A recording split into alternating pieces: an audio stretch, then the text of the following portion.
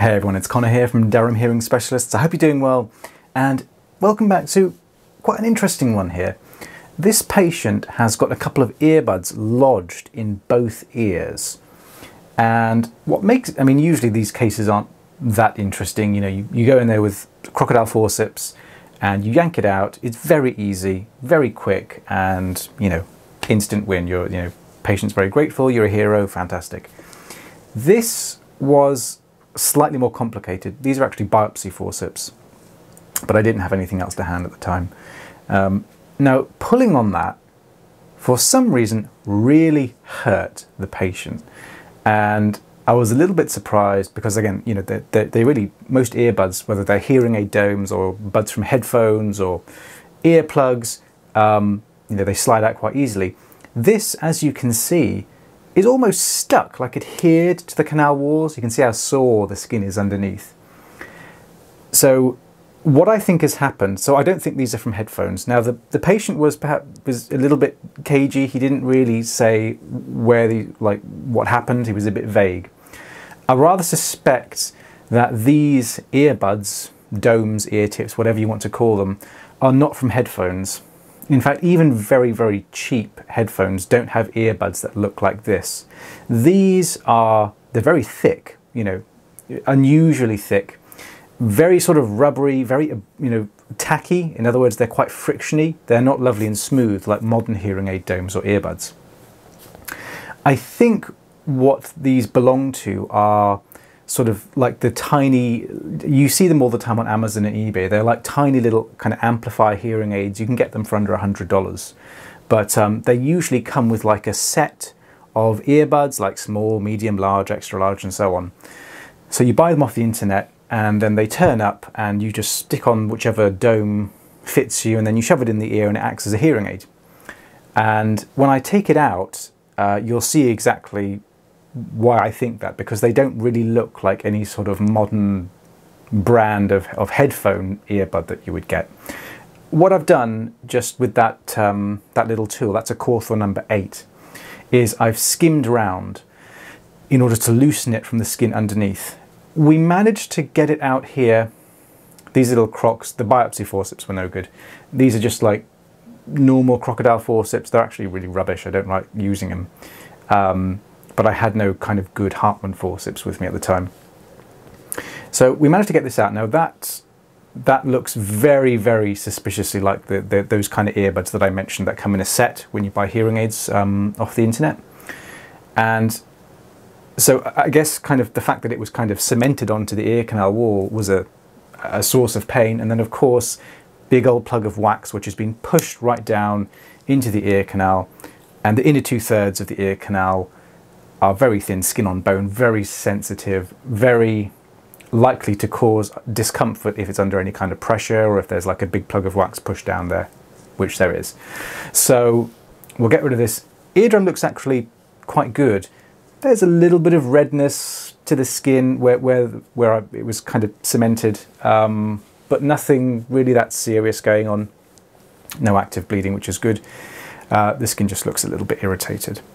So Anyway, I was skimming round and yeah, see right there, there's potentially some hematoma, but it's not really anything to worry about. So yeah, I skimmed around with the Cawthorn. This side here um, was significantly more painful. So again, I thought I would go in with, I'm going to call them snub nose crocs. Um, they're nowhere yeah, I mean, just, they're just they're just a pain in the neck, really. They're nowhere near as good as the regular Crocs. But anyway, grabbing onto this side was significantly more painful. It, I mean, he didn't like jump through the ceiling or anything. He would have probably if I'd persisted and yanked it out.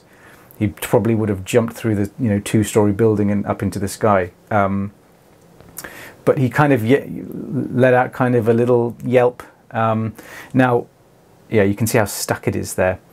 So now, I, the reason that I skim around with the tool is because I learnt the hard way through doing Phonak Lyric hearing aids, which are hearing aids that we put very deep into the ear canal, about four mils from the eardrum, and then they stay there for several months. Now, if those hearing aids get wet, they tend to stick to the ear canal quite significantly and they're very difficult to remove. And if you yank on them with forceps, you will cause quite a mess. You know, there'll be bleeding, hematoma, patient will be, you know, in massive amounts of discomfort. So what you're, what I've learned to do is grab a cawthorn hook, number six, number eight, whatever, skim round, detach it from the canal, and then you can pull it out relatively easily. But you have to lay the groundwork, and that's what I'm trying to do here. Again, you'll notice that I'm not really pulling with the crocs, I'm just kind of going up and down like that to try and loosen. So it's sort of slow and steady wins the race, really. But um, I have to say, and you can you can see how thick and rubbery these tips are. So whilst they will kind of work, they are quite unsuitable, really, to, to be shoved into ears. Um, and it, I mean, obviously, they've they've come off the hearing aid as he's tried to extract it and then got stuck in the ear. So really, probably not a good material to use. So again, going in with the Cawthorn, again, I think a St. Bart's hook here would just be annoyingly large. Um, and again, just wiggling here just to try and detach it. He's okay with this. He doesn't mind this at all. Again, I'm sort of communicating with him all the time going, is this hurt? Does this hurt? And anytime he says that it's uncomfortable, I just simply move to a different area and start again detaching, detaching, detaching, and so on going in with the snub nose crocs. And this is where I get it I think. Yeah. So again it's not just a pull it's a kind of pull and up and down motion. And whilst it does take a while it's totally worth it. So there we go slightly different shape I guess. This is just a different size that came in the kit. And going back in again there's wax in the ear which I guess probably made the hearing aid ineffective or, or feedback which is like whistling or squealing from a hearing aid. Again, you don't tend to see it much these days with modern hearing aids. Um, but kind of older style hearing aids or um, analog hearing aids, um, if the sound bounces off the wax and leaks back into the microphone, then it will squeal and stuff like that, which can be really annoying. But um, modern digital hearing aids have all sorts of very, very clever processing strategies to stop feedback.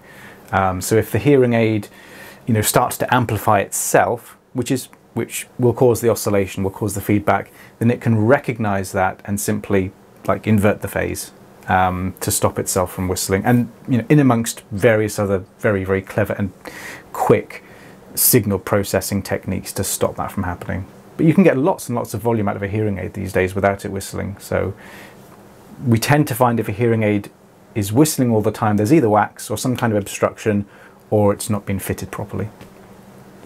So again, just kind of grabbing this last kind of sheet of dead skin and wax. And at this point, I probably could have gone in with Crocs, but again, I don't have any good ones. I just have those really rubbish snub nose ones. Um, I can't remember where I bought these actually. I think I bought them on a whim and thinking, hey, these will be great. They look really tiny in the picture, um, but they're just you know completely friggin' useless.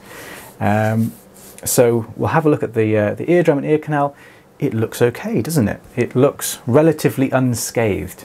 And obviously patient having those removed, having all that pressure gone and the wax gone and stuff, feeling miles better. And uh, I, I, you know, I, I just advised him that if he needs a hearing aid, I did it tactfully, but I said if he needs a hearing aid, you know, get referred to the NHS um, or, or, go to a reputable independent provider and, and you can look at private hearing aids there. So there we go. There are little patches of redness, but I don't think there's anything serious there. And again, I've seen much, much worse. Um, you know, doing it the wrong way, you know, yanking it, that is definitely the wrong way to do it. So there we go. I hope you found that video interesting. If you have any questions, leave them down in the comment section below and I will try my very best to get back to you. And of course, I will see you guys on the next video.